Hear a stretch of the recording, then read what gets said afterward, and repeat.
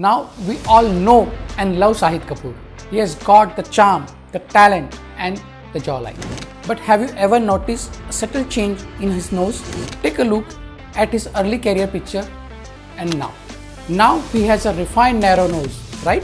He might have undergone rhinoplasty surgery to make his nose sharper and trust me, rhinoplasty surgery is a work of an art. Shahid, if you are watching this video, you were already handsome, now we can say the man has upgraded. Stay tuned for more such informative videos.